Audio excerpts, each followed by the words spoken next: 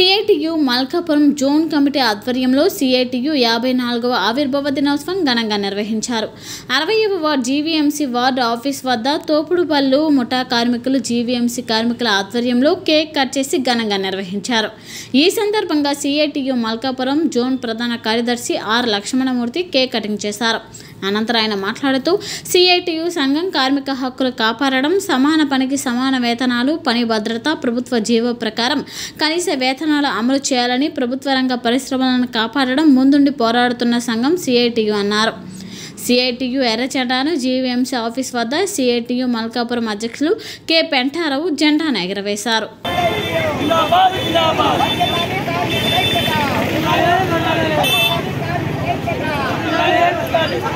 రెండవ ఆవిర్భావ దినోత్సవం సందర్భంగా మనం మన ఎస్పీసీఆర్ కళ్యాణి గేట్ దగ్గర జెండా ఆవిష్కరణ కార్యక్రమాన్ని జరుపుకుంటున్నాం. జెండా ఆవిష్కరణని మన గణేష్ ఆవిష్కరణ కోరుకుంటున్నాం